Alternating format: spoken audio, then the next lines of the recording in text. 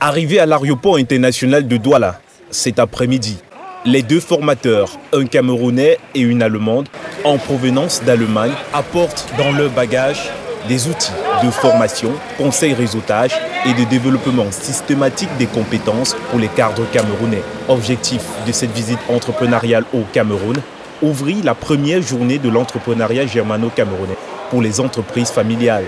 Cette première journée se tient sous le thème Gestion de la relève. Et nous avons choisi ce sujet déjà parce que nous sommes l'Académie euh, Garvensburger en Allemagne et on s'est demandé pendant plusieurs années quel pouvait être le thème pour nous pour commencer nos activités de formation au Cameroun et on s'est rendu donc compte que l'un des problèmes majeurs de l'économie au Cameroun c'est la gestion de la relève. Vous le savez tous, très souvent quand nos patriarches meurent, l'entreprise aussi reste avec eux dans le tombeau et il est donc question de, de faire que les choses changent, que ce soit comme en Allemagne ou des entreprises qui sont là depuis 400 ans, 500 ans, pourquoi pas aussi au Cameroun. Face à ce défi, à relever qui est annoncé dans quelques jours, la participation de tous est très attendue.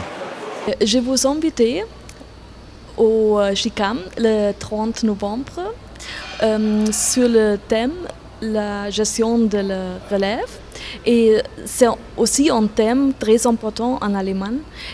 Ce mercredi 30 novembre 2016, à Douala, le GICAM accueille la première journée de l'entrepreneuriat germano-camerounais pour les entreprises familiales. Une journée que préside le secrétaire exécutif du GICAM, Alain Blaise Batangé.